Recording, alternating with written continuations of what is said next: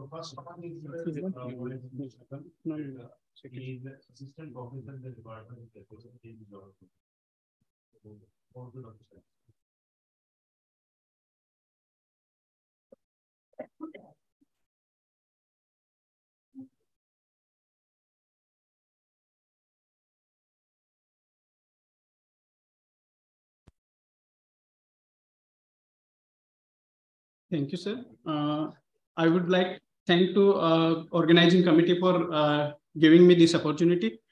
Uh, so to, uh, my topic is ATT-induced hepatotoxicity. I would like to discuss under following headings, uh, how common the problem is, how we define ATT hepatitis, what is the pathophysiology of ATT hepatotoxicity, what are the risk factor, how we can prevent and what are the treatment options, and once ATT hepatitis resolves, so how to reintroduce uh, ATT.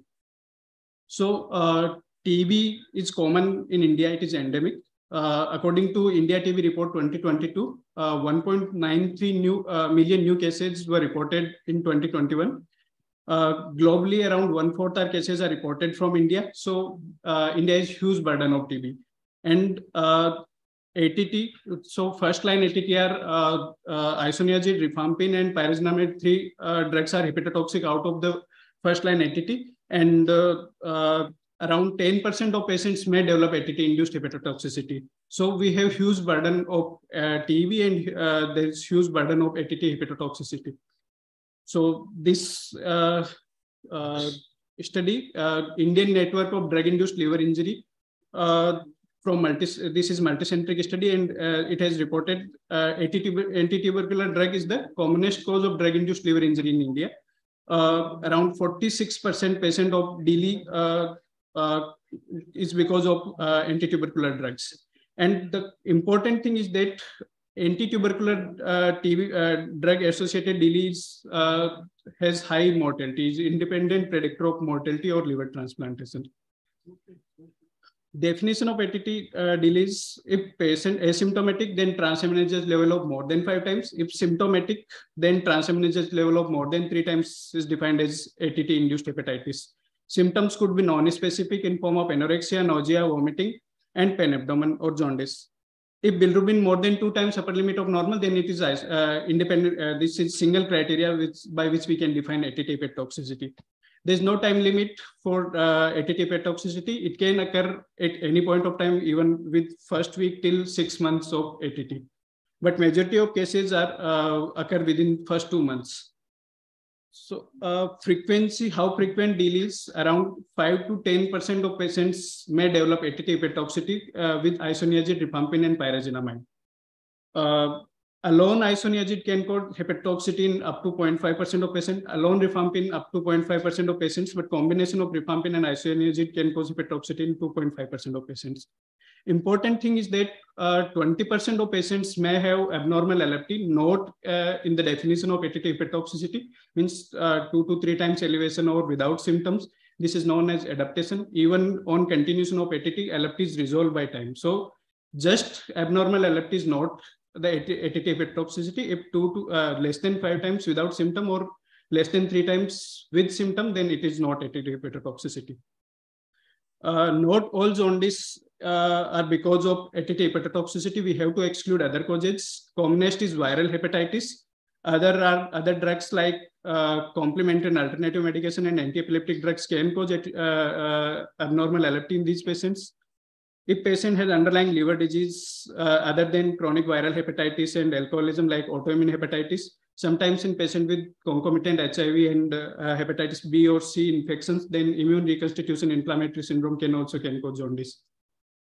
Other TB related like granulomatous hepatitis also uh, present with jaundice. So baseline LFT and uh, if there's imaging evidence of granulomatous lesion, then we can uh, say that because of uh, granulomatous hepatitis, uh, jaundice is because of granulomatous hepatitis. Sometimes if large lymph node, which uh, portal lymph node can cause compression of CBD and which can result in cholestatic jaundice. So imaging should also be done before labeling these patient ATT hepatotoxicity. But main thing is that any patient on ATT, if symptoms or jaundice, then ATT should be stopped and all these etiological workups should be done. If anything is positive, then we can level that because of uh, these etiology uh, jaundice is there. Otherwise, ATT hepatotoxicity is the uh, cause. This study uh, reported that in one fourth of the cases, uh, jaundice could be because of other reason in these patients. Commonest is viral hepatitis, then HIV, alcoholism, and other drugs. So, what is the mechanism of TB DILI? So, ATT DILI is because of idiosyncratic injury. It is not dose dependent. It is dose independent. It depends on the genetic and uh, uh, environmental factors and host related factors like uh, age, gender that I will discuss in uh, subsequent slides. The idiosyncrasy could be of two types, metabolic idiosyncrasy or immune mediated idiosyncrasy. Met metabolic idiosyncrasy is if uh, it is because of metabolites which are toxic and these toxic metabolites, they form uh, they bind with proteins they, uh, and these drug protein adduct, they can cause direct uh, tissue injury and they can lead to immune activation, innate immune system activation, and which can lead to immunological injury. Uh, in pyrazinamide, ATT uh, toxicity is dose dependent. If more than 40 milligram per kilogram dose are used, then it can the chances of hepatotoxicity are more. But even on doses that we use 25 to 30, then in on these, these doses also uh, hepatotoxicity can occur. So idiosyncrasy as well dose dependent toxicity in case of pyrazinamide. This uh, uh, diagram is showing uh, metabolism of isoniazid. Its main metabolism is N-acetyl transferase mediated by which mainly non-toxic metabolites are formed. But uh, minor pathway is this uh, hydrolysis. So it is not much important in normal acetylators, but patients are slow acetylators, if N-acetyl transferase activity is low because of uh, this mutant type of uh, uh, N-acetyl transferase, then this pathway becomes important. Another thing is rifampicin increase activity of this hydrolytic pathway. Also rifampicin increases activity of cytochrome uh, 2E1 pathway. So both can lead to accumulation of toxic metabolites. That's why hepatotoxicity is more with uh, combination of isoniazid rifampin rather than isoniazid alone. In case of rifampicin, it activates enzyme uh, pregnane X receptor, which leads to cytochrome P450 uh, enzyme activation, which leads to uh, hepatotoxicity by uh, accumulation of toxic metabolites. It also inhibits biliary excretion by inhibiting bile salt excretory proteins. In pyrazinamide, as I already said, that dose dependent as well as idiosyncratic uh, occur uh, hepatotoxicity can occur. So majority of cases presents within first two months, but ATT hepatotoxicity can present at any point of time. This study from uh, this uh, Devarbhavi et al. published in Journal of Gastroenterology and Hepatology, they have studied uh, 269 patients with uh, ATT hepatotoxicity and they have reported that uh, majority of cases presented within first two months of ATT, uh, initiation of ATT. Risk factor in various studies, uh, age, advanced age is factor because of the altered metabolism and uh, redistribution of drug. Uh, and age especially more than 60 years and children more chances of hepatotoxicity. Frequency is equal in both male and female, but severity is more in female. So data of uh, ATT-induced acute liver failure, both from AIIMS Delhi and uh, uh, uh, from Bangalore, Devarbhavi sir group, they have reported that ATT ALF is more common in female. 70% were female in both the groups. Underlying alcoholism, which can lead to malnutrition and glutathione depletion, which increases hepatotoxicity. Uh, chronic viral infection, hepatitis B uh, increases the hepatotoxicity odds ratio for hepatitis C and HIV. Malnutrition, if hypoalbuminemia at the starting of ATT, and after starting of ATT, patient is not gaining weight, or even uh, if there's loss of weight on ATT, that in, it increases hepatotoxicity. Uh, AIIMS group also showed that extensive disease or extra uh, pulmonary uh, tuberculosis, it increases risk of ATT hepatotoxicity. And genetic polymorphism and, N-acetyl transferase, cytochrome uh, 2E1, and glutathione S transferase, uh, there's risk of ATT hepatotoxicity. ATT hepatotoxicity can present with just asymptomatic elevation of transaminases which are uh, uh, detected on routine LFT monitoring. These can cause non-specific symptoms like nausea, vomiting, uh, abdominal pain, anorexia, and if ATT not stopped, then can lead to uh, jaundice and then subsequently acute liver failure. Severe ATT hepatotoxicity is defined as uh, transaminases more than 10 times or bilirubin more than two times. Acute liver failure is defined as presence of coagulopathy and encephalopathy, and it can occur in 0.01% of the patients. If patient is underlying chronic liver disease, then ATT can precipitate acute on chronic liver failure. So the main thing is that symptoms are non-specific. We have to uh, identify these patients early, otherwise it can lead to uh, ALF and very high mortality. So uh, this study, which was published in American Journal of Gastroenterology and uh, this uh, APASL-R consortium, and out of 3,200 patients uh, of ACLF, 10% uh, of the cases cause of acute decompensation was drug-induced liver injury. Out of them, one-fourth of cases was because of ATT. And uh, this ATT-induced acute liver failure, this study from AIIMS Delhi, uh, uh, they have included 1223 patients of acute liver failure between 1986 to 2009. Uh, 70 cases was mainly uh, only because of ATT-induced acute liver failure. Out of them, two-third ATT was given empirically, 70% were female, and uh, ALF because of ATT had very poor prognosis in form of two-third mortality. Predictors of mortality in this study was bilirubin more than 10.8, prothrombin time more than 26 second, and grade 3 or grade 4 hepatic encephalopathy. Devar group also reported the similar findings almost. The ATT DILI was the common, common out of 516, uh, more than 50% patients uh, uh, of DILI was because of ATT. 43% were uh, received ATT empirically. Jaundice was common in 70% of patients, ascites and encephalopathy in one fourth of the patients, and predictor of mortality was presence of hepatic encephalopathy, higher jaundice, uh, coagulopathy, hypoalbuminemia, and raised creatinine. So overall, ATT hepatotoxicity, uh, ATT-related ALF is the common cause of DILI ALF. Two-third cases of uh, DILI-associated ALF was because of anti-tubercular drug in India. Woman uh, is more commonly affected, uh, more severely affected. Actually, DILI incidence is equal in both male and female, but uh, ATT ALF uh, develop more in females. Uh, majority of patients were aged less than 35 years empirical ATT was given in at least one third of the patients. It has high mortality and survival without liver transplant is uh, around mortality around without liver transplant was two third and survival with liver transplant was two third. How we should screen different guidelines recommend uh, uh, the re recommendation is different with different guidelines. American and British Thoracic Society both, both recommend that baseline liver function test should be done in all the patients before starting ATT. Once patient develops symptoms, then all the guideline, guideline recommended urgent uh, LFT should be done and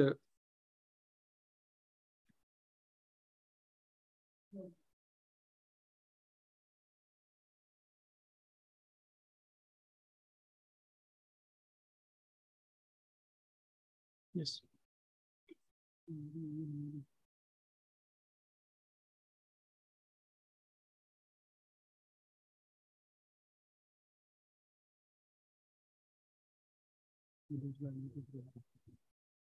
So table So different guidelines recommend uh, screening uh, how we should screen in these patients for ATT hepatotoxicity. So baseline LFT should be done in all the patients. If patient develops symptoms, then LFT should be repeated.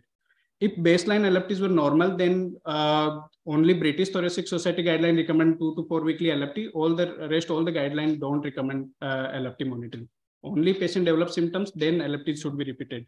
If baseline LFTs are abnormal, then two to four weekly LFTs should be done in these patients. So uh, high risk group are uh, patient with chronic alcohol consumption, patient with chronic viral hepatitis, hepatitis B, C, HIV, pre-existing liver disease or patient with previously abnormal LFTs, patient in third trimester of pregnancy and uh, early postpartum, and other hepatotoxic drugs. These patients should be monitored closely. Every two to four weekly LFT should be done. Otherwise, baseline LFT is normal, then these patients should be monitored uh, clinically only. So uh, this study in which LFTs were uh, routinely done at two weeks, uh, and if uh, okay, sir, sorry, sorry. So out of 288 subjects, 7.3% patient developed DILI, but a two-week LFT was not predictor of development of DILI in uh, these patients. So uh, routine LFT, LFT, monitoring is not advisable. Best thing is edu educate the patient. Once symptoms develop, then these patients should immediately uh, uh, report. And if we talk about if we can prevent these drugs by any chemoprophylaxis, so this small study of N-acetylcysteine in patient with more than age more than 60 years, and it shows the protective effect of N-acetylcysteine. So hepatotoxicity was developed in 37.5% patients uh, without intervention versus uh, none in patient who received N-acetylcysteine. But this is only small study and included age more than 60 years of patients. Once ATT hepatitis developed, then all the primary hepatotoxic, first line hepatotoxic drugs should be stopped. ATT should be modified. Treatment is usually supportive. If severe hepatitis, then N-acetylcysteine infusion should be given. If ALF, then liver transplant is the uh, option. The uh, trials of N-acetylcysteine and silymarin did not support any uh, benefit, no outcome benefit, mortality, uh, liver transplant, they were not different in both the groups. Once ATT hepatitis is resolved, means ALT normalized or at least less than two times upper limit of normal, then we have to introduce ATT because the first line ATT are the most effective drug. These are cheaper and lesser side effects. So we have to reintroduce ATT. So American guidelines suggest sequential day one rifampin maximum dose, day eight isoniazid maximum dose. Pyrazinamide should be reintroduced on uh, if there's initial hepatitis was mild. Uh, and uh, if hepatitis develop even on reintroduce, reintroduction, then last the, the drug was added should be stopped. Uh, rest all the ATT, uh, all the ATT drugs should be continued. British Thoracic Society recommend incremental dose, isoniazid at 50 mg day one, then maximum by day four, then rifampin 150 mg day eight, maximum by day 11, and add pyrazinamide 250 at day 15 and maximum by day 18. WHO guideline recommend that all the uh, three drugs can be reintroduced simultaneously. And this study from AIIMS Delhi, SK Sharma group, they have reported that re uh, ATT reintroduction can be done by any of these methods. The ATT DILI, uh, recurrence of ATT DILI is similar in all the three uh, groups. Uh, in view of constraints of time, I would like to skip these slides, but in uh, ATT in cirrhotics, if child A, then uh, pyrazinamide should be avoided. In child B, then either of rifampin or isoniazid, only one hepatotoxic drug should be given. And in child C cirrhotic, all the hepatotoxic drugs should be avoided. Definition is somewhat different in uh, cirrhotic patient. So in conclusion, uh, India is high burden of tuberculosis and ATT DILI results in significant morbidity. Patient education is important for early diagnosis because once patient develops severe hepatotoxicity, outcome is poor. And predictors of poor outcome are jaundice, bilirubin more than 10.8, uh, coagulopathy, and hepatic encephalopathy. Empirical ATT should be avoided. Thank you.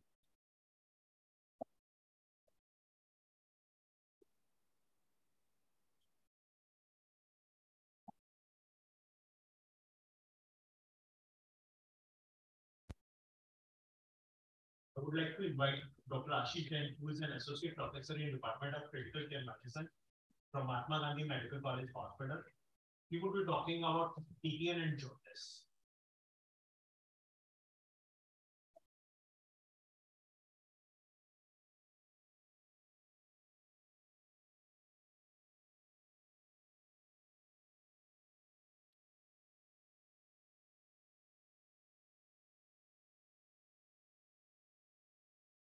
Thank you, Chairpersons. My topic of discussion is TPN and jaundice. The long-term parenteral nutrition was first introduced by Dr. Stanley Dudrick in 1960. And uh, in 1968, he discharged his first patient on long-term home parental nutrition, which lived, who lived around 15 years on parental nutrition. But uh, immediately after a few years in 1971, Patten et al. recognizes that long-term parental nutrition can cause hepatobiliary complications. Nomenclature is a bit confusing because a lot of terms is being used. Parental nutrition associated cholestasis, primarily which happen in uh, pediatric age group. PNALD, which is characterized by inflammation causing cholestasis, steatosis, and uh, resulting in fibrosis and cirrhosis, primarily seen in adult patient. According to ASPEN, 2018, all these three terms, PNAC, IFALD, and PNALD can be used interchangeably, but in 2020, uh, they say that PNAC should be used for preterm babies and pediatric age group, while PNALD and IFALD can be used interchangeably. Epidemiologically, infants are more prone to develop these hepatotoxicities due to parental nutrition, and it is uh, approximately 60% of uh, pediatric population are affected. Premature newborns with low birth weight are more prone and the duration is also important. So if you see, if the duration is more, uh, is, is increasing, the chances of getting uh, TPN associated liver disease is rising from 30% to 70%. Mortality among infants is around 40%, while in adults it is around 22%, while uh, it is a major cause of pediatric liver transplantation. The mechanism is still unclear. It is multifactorial. A lot of these factors in involved, which involves prematurity, duration of parental nutrition, lack of enteral feeding, small bowel bacterial overgrowth, sepsis, CLABSI, intestinal failure, various surgical procedures, and various component of parental nutrition in, with the uh, change in the gut microbiota and uh, increased bile lithogenicity with subsequent bile duct obstruction. And these all will lead to the development of inflammation, which will call, uh, cause liver, uh, liver failure and liver injury. In a normal uh, adult, the bile acid which is present in gut lumen, it bound to farnesoid X receptor FXR and cause activation of fibroblast growth factor, which reaches to liver via the portal vein and it causes down regulation of bile salt synthesis by decrease by uh, uh, negative uh, effect on the cyto uh, this uh, cholesterol 7 alpha hydroxylase. And it also affects the lipid profile and the glycemic control. While in gut, this primary bile acids is converted to secondary bile acid with the presence of normal Firmicutes gut microbes. If there is change in the gut microbiome, or if there is gut injury causing release of pro-inflammatory cytokines, tumor necrotic factor alpha, they causes increased inflammation, uh, loosening of the tight junctions, more sepsis, and gut and liver injuries. The infection primarily related to either gut bacterial translocation or it is catheter-related bloodstream infections. Because of the infection, there is release of uh, increased lipopolysaccharides, which, which will uh, act on the macrophages, Kupffer cells. They releases interleukins, they releases tumor necrotic factor alpha, act on the hepatocytes, and they causes downregulation of the bile salt transporters. So there is a collection of bile salt or cholestasis, which will lead to further inflammation and the injury. Similarly, when there is uh, damage to the gut barrier, and there is a dissociation uh, of uh, structural Z, ZO1 and uh, claudins that are the tight junctions, it causes increased septic episodes in the patient on uh, parental nutrition. So uh, when there is uh, loss of gut microbiota, there is a loss of secondary bile acid precursors. So increased primary and to secondary bile acid ratio that will lead to increased bile synthesis and cholestasis leading to liver injury.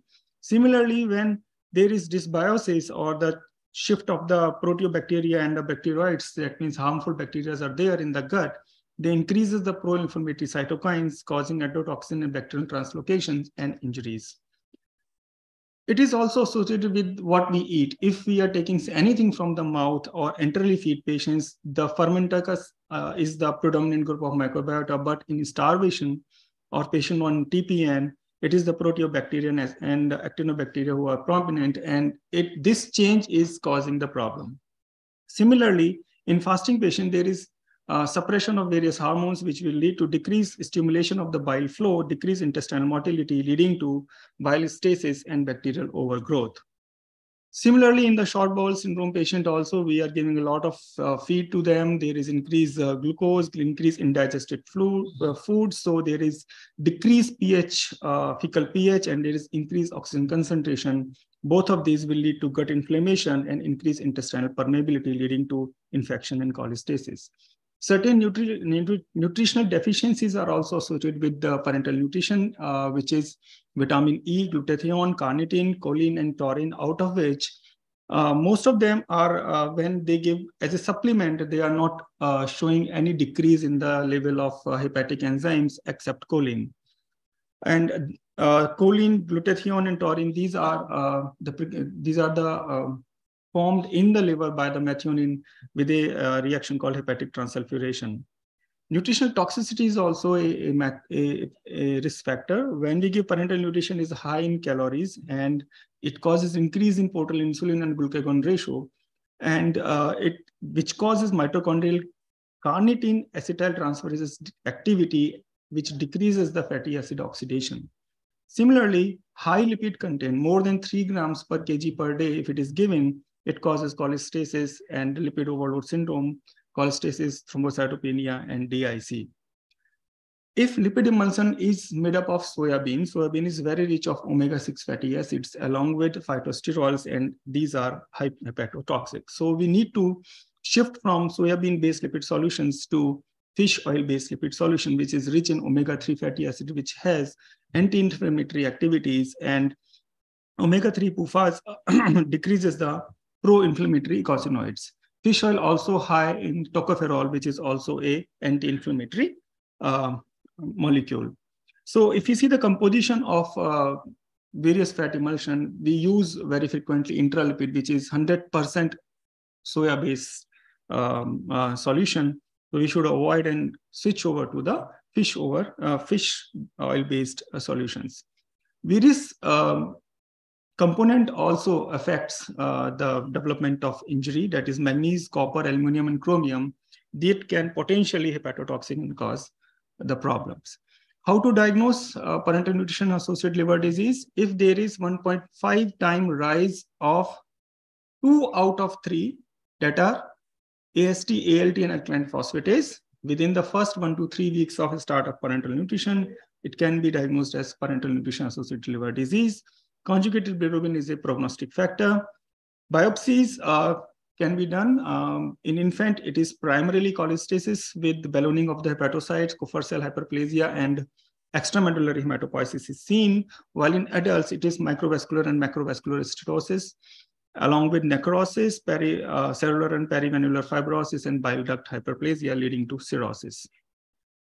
Though the biopsy is not helpful, but as per the ASPEN guideline, the decision of a biopsy should be taken on case-to-case -case basis.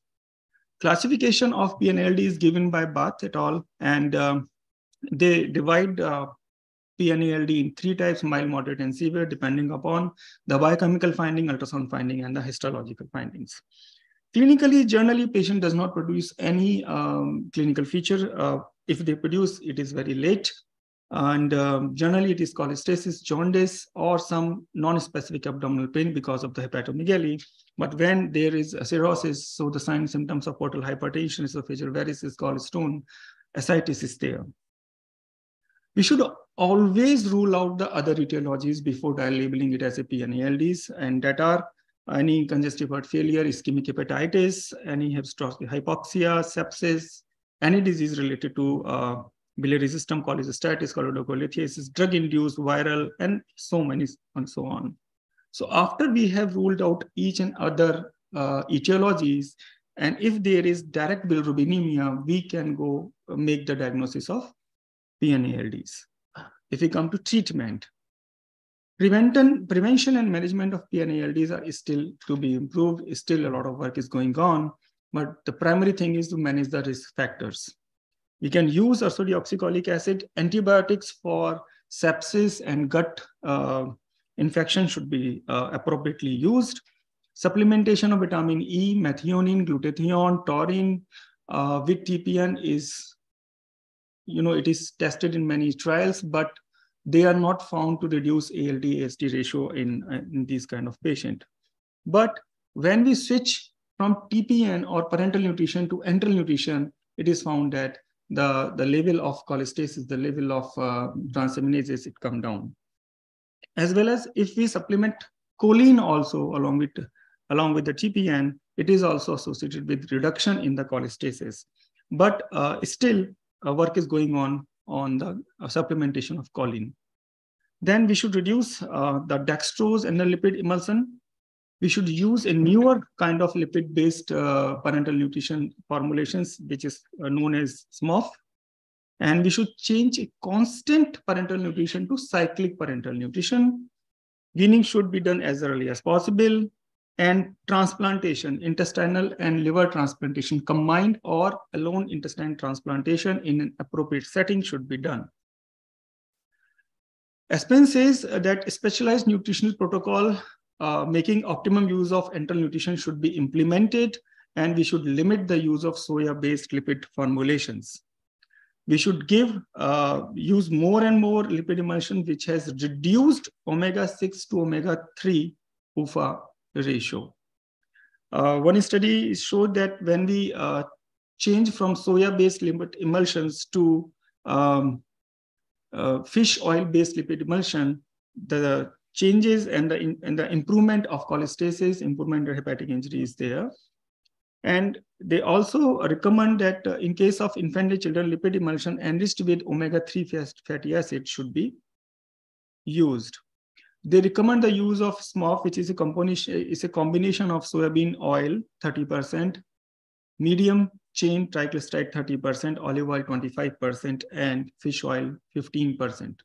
There is a new SMOF 20 is also there when the com composition is almost same, but percentage is reduced to approximately uh, five times lesser than this.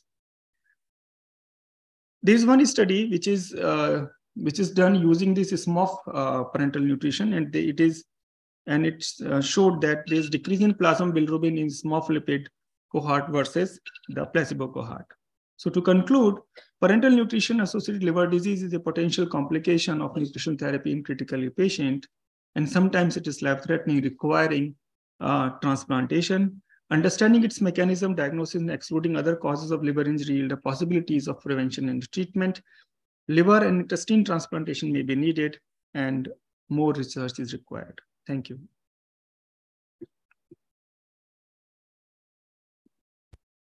Is online, so we will play his video, then he will go.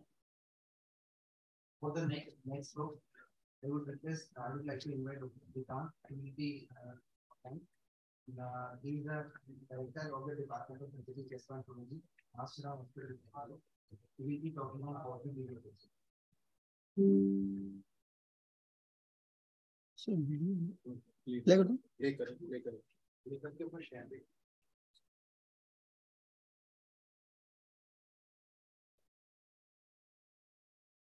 It's just starting to play your video and then we'll request you. Yes. So you want to present uh, live or should we play the video? Yeah, yeah. Okay. Fine. Good afternoon, chairpersons, faculty, and delegates.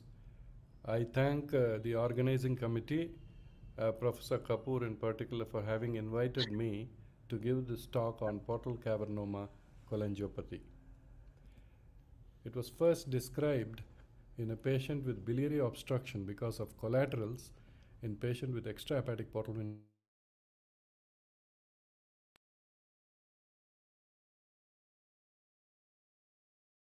was uh, demonstrated uh, by Williams in 1982.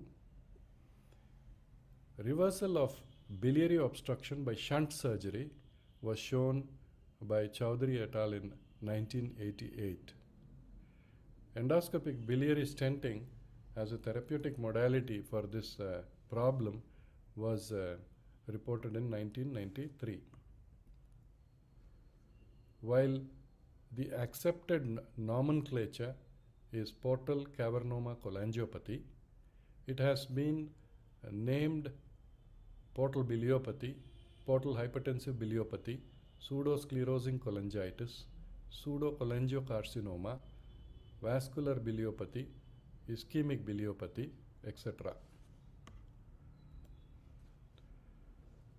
The pathology, pathogenesis, symptomatology, the investigative modalities, the diagnostic algorithm, and the management strategy were laid down in a consensus uh, statement INASL consensus statement in the year 2014. The description of the changes that one would see and the definition criteria were laid down where the typical cholangiographic changes are to be called extrinsic impression or indentations, shallow impressions, irregular ductular contour, stricture, filling defects, bile duct angulation, upstream dilatation, ectasia. One can make this diagnosis provided you have ruled out primary sclerosis.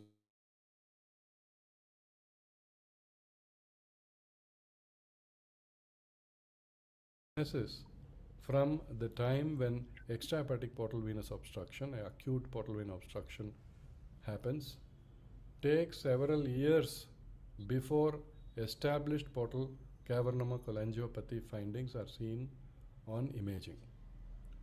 Now, these are because of dilated epicholedochal plexus of Saint and paracholedochal plexus of Petren, vessels in the bile duct wall and around, which cause obstruction biliary changes secondary to compression in 55% of patients and ischemic strictures in 45% of patients.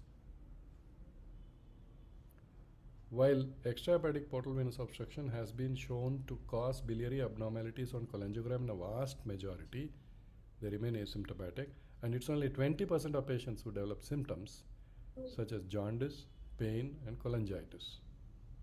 Now, there are risk factors like increasing age in patients with extrahepatic portal venous obstruction, uh, dilated CBD, gallstones, CBD stones.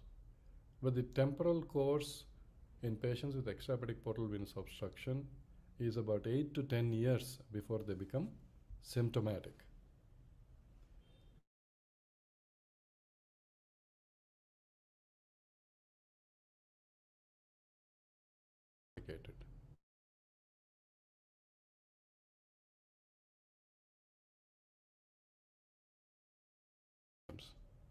It's patients with uh, jaundice or pain who will be considered symptomatic who might show advanced changes of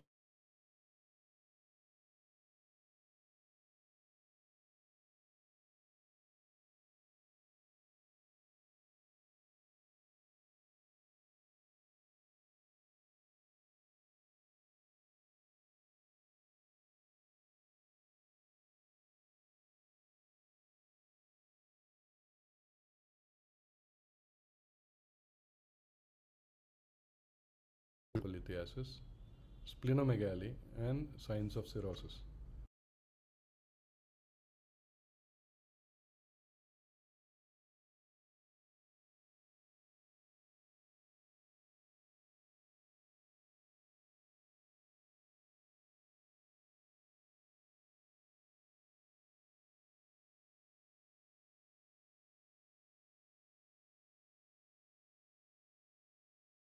splenoportal axis, which might be helpful if shunt surgery needs to be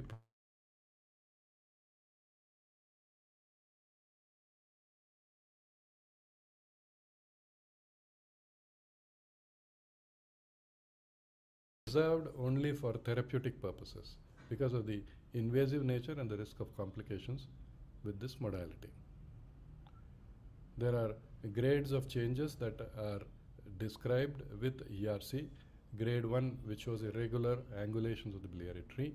Grade 2, indentation.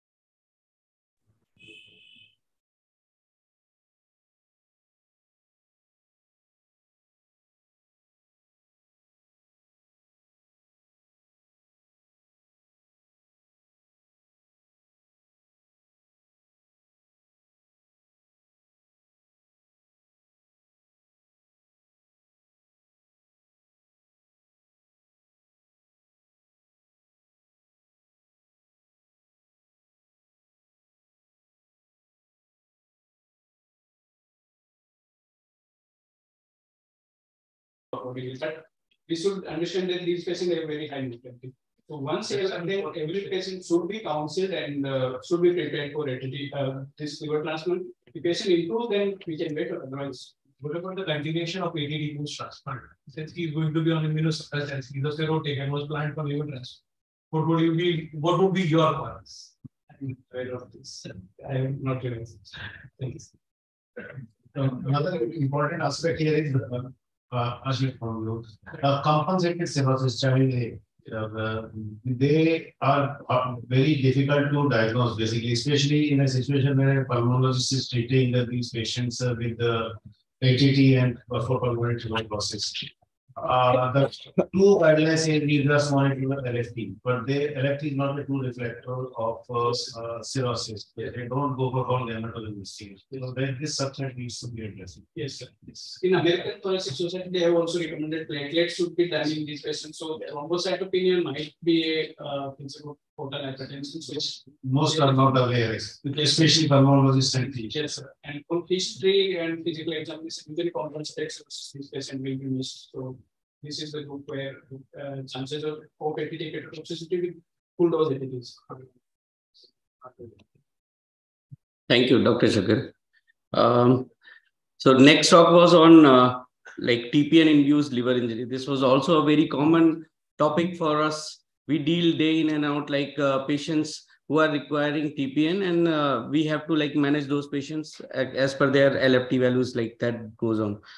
So uh, Dr. Ashish has very nicely covered the topic, sir. Um, I had a few questions regarding this. Uh, similarly, like we have seen patient having normal LFT. Like first of all, baseline LFT has to be done in all patients. Then suppose like a patient is having deranged LFT to begin with or having some liver problem or uh, biliary problem, we have to start TPN. So what should we look for? How will we go ahead with uh, this TPN introduction in this patient? Thank, uh, thank you very much. Um, baseline, your liver parameters, all the transaminases greater than the value is normal, then you can go for normal TPN, which is SMOF lipid containment Nowadays, it is everything coming from Kaliban and TPM, Both are having uh, low soyalin based. And uh, if after supplementation, if it is rising, rising more than 1.5 times or two times or three times, if the hemoglobin is more than three times, please stop it for next three days. Switch over to either amino acid based or green dextrose for the energy recovery. Once uh, it has come down to normal, normal, normal, so once patient has developed some liver dysfunction on a TPN, uh, we should completely switch off this TPN, and uh, we can with uh, we should uh, give only amino acids, or we can give dextrose uh, solutions along with this. Plus amino acids.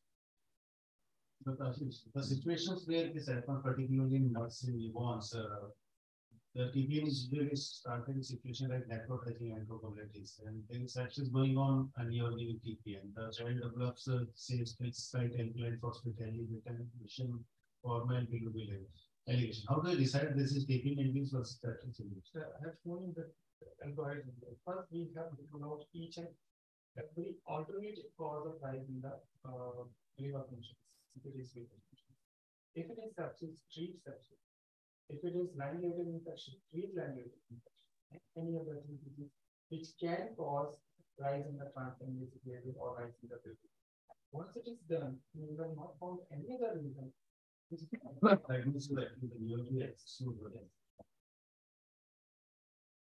Um, in simple terms of what is the simple one or four uh, indication by contraindication of treatment in which four type of patients will not give the uh, so if you can start and take feed in any situation within next like 48 hours or 24 hours, these can be started. Start, which has a way as well. Number two, for separate patients who are not uh, like having anemia or septicemia, bloodstream infections, high vasopressor support. So we started for calorie, you can give that source. But third is chronic liver failure patients your uh, active liver failure patients. However, if the patient is growing blood cultures positive, then there is probably the uh, You should go coronary with dysfunction. the, the here is the blood line which is there through which you are giving the central line. If it is a source, change it and then reinsert the line in new place and then will overdoses. renal dysfunction. Here you see. I have a question, sir. Uh, this uh, TPN usually have three components, the lipid, protein and carbohydrate. So as far as my understanding is that both lipids and dextrose are hepatotoxic, like they derange the leptin. So is there anything that this component is more hepatotoxic, like can start dextrose and avoid lipids, or we have to stop both dextrose and lipids and just continue amino acids? There are a lot of studies which show that a lipid component is more toxic containing the serum soya oil. Other than the dextrose, dextrose which is given there, it's only the uh, is carbohydrate component This is in the form of dextrose twenty-five percent solution around twenty or thirty ml in a hundred ml solution there. And uh, uh, primarily energy is given by the uh, uh, lipids, then after carbohydrates and then the amino. But if you see, uh, you ask me out of these three, which is more toxic? Lipid component. Okay, and that, that's good. Uh, um, Another question. Now, uh, from the aspects of the post-graduate stress, when they are prescribed a TPN, what should be the period of test and when the period of the test should be repeated? Once we have started the patient on TPN. You know, electrolyte, we should uh, involve in the like uh, sodium, potassium, magnesium, phosphorus, calcium, along with the liver function and creatinine. These tests will be done. Triglyceride levels or lipid profile already first day you can uh, test. And uh, well, after 72 hours, please repeat and electrolyte. If there is derangement, because in ICUs you daily use uh, do uh, you are doing ABGs, so sodium potassium, you can their calcium, you can that in the ABG. Creatinine you will have the ABGs, but not the LFT there, so we should check. Or if bilirubin is rising, or patient is having some problem, then Uh, thank you, Dr. Ashish. Like while we had these two very common conditions, uh, next talk was on portal biliopathy, which is which seems to be very complex uh, topic, and especially for residents, postgraduate residents. I really congratulate uh, Dr. Shrikant for comprehensively covering covering this uh, talk very nicely and uh, like giving brief to these uh, residents uh, nicely. So he's uh, like online. Is he online? Hello. Yeah, yeah, he's there. Yeah, I'm online. Yeah. Good afternoon. Sir, uh, good afternoon. Good afternoon, sir. Uh, sir, we had uh, two, three questions like uh, regarding this, like for uh, for the interest of residents. Um, you mentioned phase one, phase two, phase three. Like in all patients, uh, phase one is endoscopic drainage, endoscopic management of uh, this portal biliopathy, or it is a specific subset of portal biliopathy pa- patients where CBD stone is there, cholangitis is there, or there is non-shuntable anatomy, then only this uh, endoscopic management becomes a phase one. I would think um, more majority of the patients uh, need uh, some kind of temporizing, which means you might have a patient who presents with um, jaundice, which is a common presentation of this condition. Now, when you are embarking on, let's say it's a patient with only a stricture. Now, it could be because of collaterals uh, compressing extrinsically, or it could be because of ischemia, these strictures. Now, to address this, you might evaluate further, find the shuntable anatomy. But doing an endoscopic stenting to make the patient jaundice free should be the first step before you proceed to doing a shunt. So, in that sense, endoscopy should be the first. Now, take the instance of a patient having bile duct stones. Again, an endoscopic approach is required for removal of the bile duct stones by balloon, dormia, and then putting a stent. You may have to deal with the gallbladder now. Again, the, here is where you do a shunt, review, and then do a gallbladder procedure. So I would think a majority of patients would require. Now consider the situation where a patient presents with pain only. There's no jaundice. You might find collaterals. You might not find a derangement of a lefty, but you have extensive collaterals around gallbladder. Now, this again is a patient where you may consider no endoscopic therapy. This might be the exception. But for doing a gallbladder, you might have to do a shunt and then plan your biliary procedure. So I think it needs to be individualized, but the thinking should be in terms of issues which are at hand should be, if required, endoscopic, which should be in majority of these strictures, stones, etc. of the biliary tree.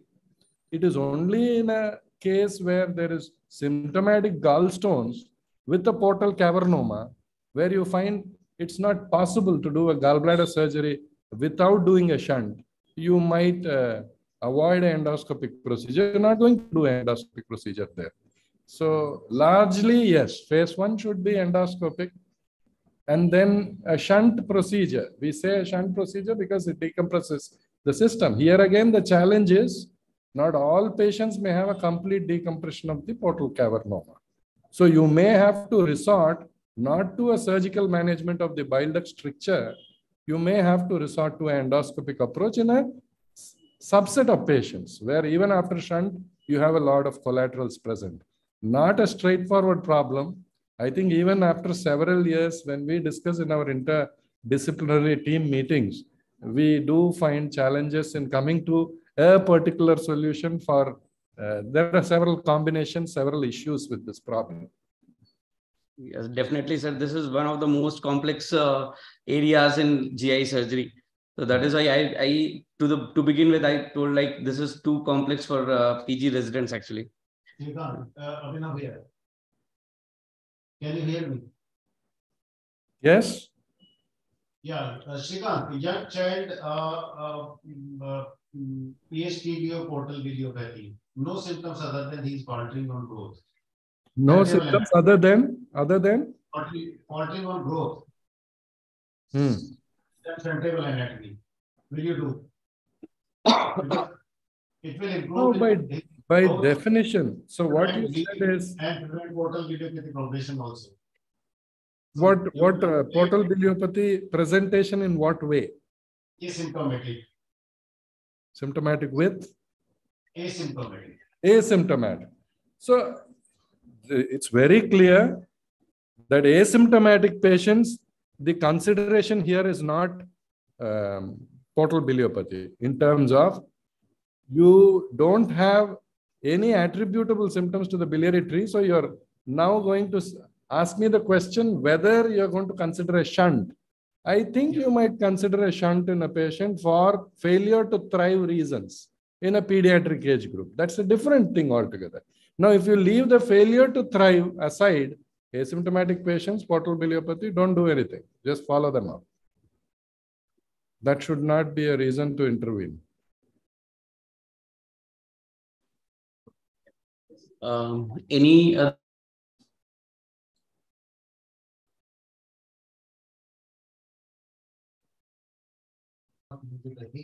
These patients are developing this feature because of either uh, dilated veins and ischemia.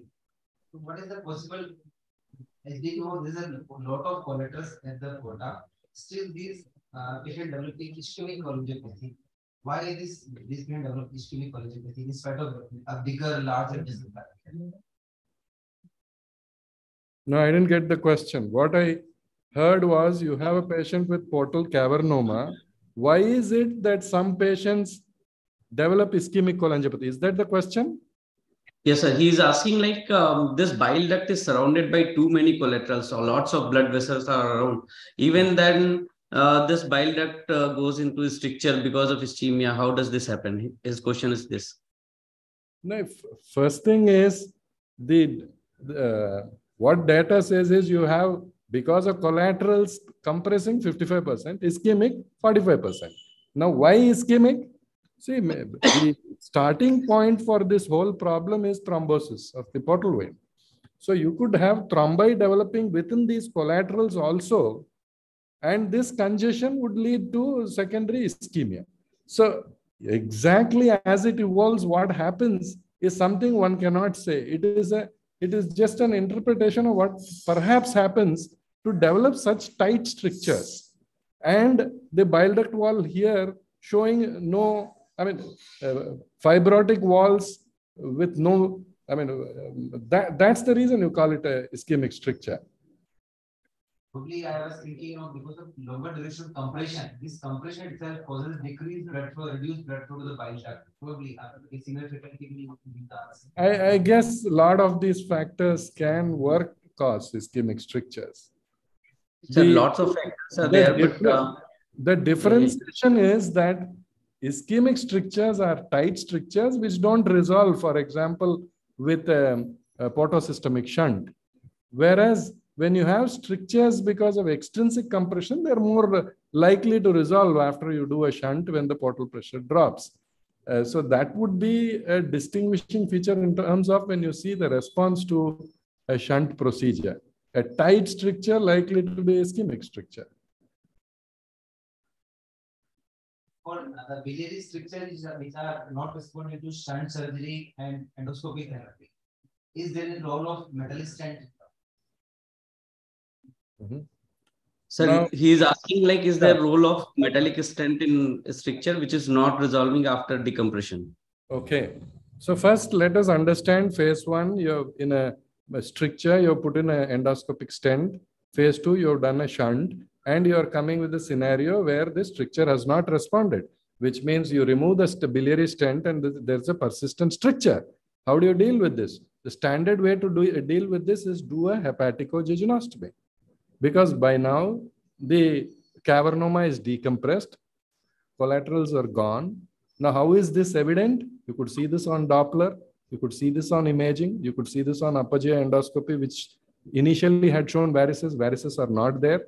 In these situations, you would plan a hepaticojejunostomy uh, in, uh, in, in a patient who has a persistent stricture. Now, is there a minority where you may consider a metallic stent let me put it this way. You have a patent shunt, but still stricture not resolved and the collateral still there. That means you can't go in and do a hepaticojejunostomy. We have seen these situations.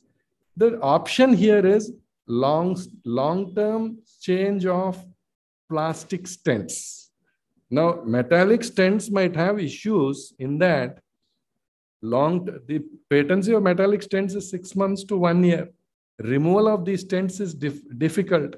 You can place retrievable or covered stents, but these are expensive. So in clinical practice, when you have looked at endoscopic stenting, being a benign pathology, you are looking at several years. Metallic stents might have a role in a very small proportion of patients. Maybe those where clearly you have decided you have to go for transplantation. You might put a metal stent for long-term patents, long-term, longer patency before you do the transplant. But otherwise, I don't think it is a routine to consider metal stents in these patients. It's an exception, not a rule. Yeah. Uh, thank you, sir, for your like uh, very um, like enlightening uh, answers to all these questions. Is there any question from the house? Like, to any speakers? Okay, if there is no question, should we chat?